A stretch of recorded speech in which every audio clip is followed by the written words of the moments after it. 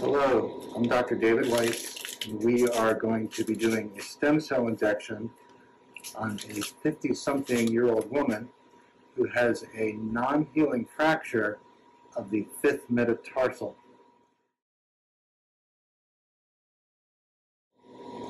And she is about 10 weeks now of showing very, very little signs of healing. So, what we're going to do is we're going to inject stem cells from the placenta directly into the fracture to help with the healing. And hopefully she'll be healed very quickly. These right here are the stem cells.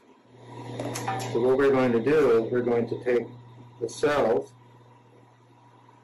I'm going to inject them with a 22 gauge needle, and, and our patient has already been numbed up so she won't feel this. And if you look up here, this is called a fluoroscopy unit.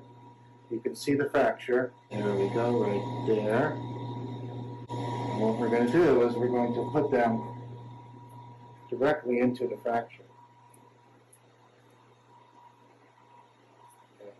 Alright, so you can see the tip of the needle is right where the fracture is.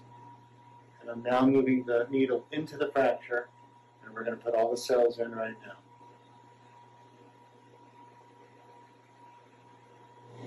So what we will do is monitor her for the next few weeks, and she's going to be in a boot to keep the weight off of the foot, and hopefully this will heal up very quickly and she can avoid surgery.